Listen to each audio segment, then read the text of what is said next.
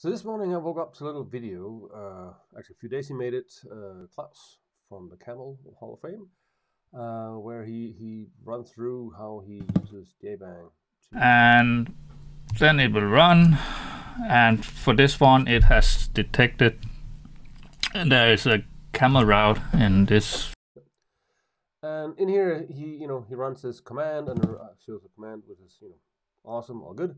Um, but I thought uh, I wanted to show him how to actually make this a bit easier. So I have here uh, his project. Oop.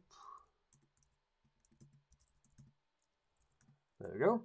Uh, and in here is the actual Java file. And he also has a README where he explains how to use it. And there's this long command line, which all it works, it's all fine. But I thought I want to show it's a bit easier thing to do.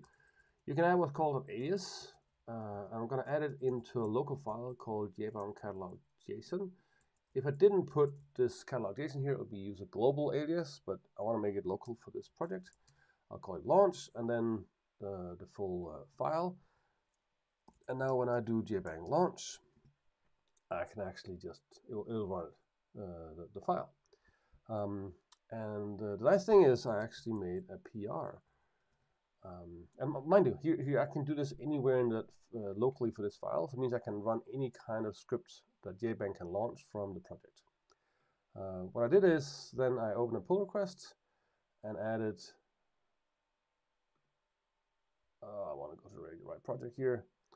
So there's a pull request. So once Klaus accepts this, which I hope he will, um, you can actually just do JBang uh, launch camel visual.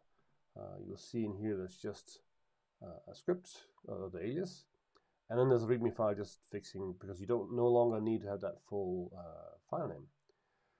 and the cool thing actually is since this is actually already in a, a, a commit on Git GitHub in Max Andersen JBang, I can actually go JBang launch at Max Andersen's Camel Visual JBang. So it's this alias, the GitHub org or repo, the not Git or, or org or user, and then the repo, and in this case the branch. If I didn't, if I put this in a JBang catalog, I could do this, um, Max Andersen. But in this case, I'm using a very specific repo in a very specific branch. That can also be a shard, it could be anything else, um, and I can run the same thing that way.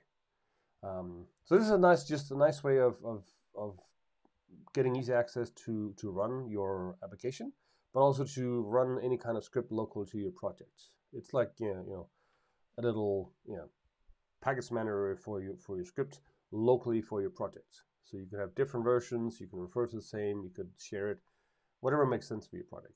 So anyway, I thought this was a nice way of showing it. So uh, yeah, here you go. Thank you. And thank you, Klaus, for giving me the idea of reminding that you can actually do this. Thank you.